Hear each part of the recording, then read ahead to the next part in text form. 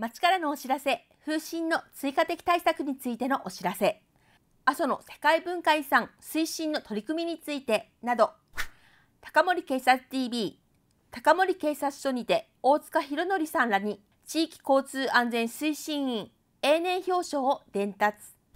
体験やってみチャンネル、オクロックの脇坂かりんさんと三月七香さんが井上集会所でちまき作りをやってみ。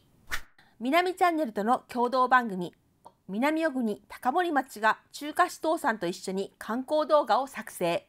お互いが制作した番組を交換して紹介。週刊情報高森。まずは南阿蘇ビジターセンター企画展、阿蘇の野の花4。続いてタブレット図書館体験会、タブレット贈呈式の2つの話題。その他の番組はご覧の通りです。高森町地域おこし協力隊募集高森町のケーブルテレビを活用した情報共有共感のまちづくりに参加しませんか？詳しくは高森町ホームページをご確認ください。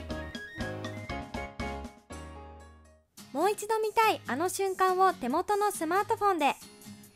TPC の番組が YouTube でもご覧になれるのをご存知ですか？TPC では毎週月曜日に1週間分の放送内容を投稿しています。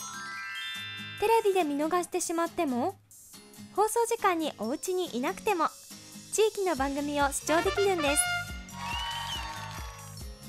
街からのお知らせに数々のおなじみのコーナー地域の行事の様子など実は見たことのなかったお気に入りのコーナーが見つかるかも。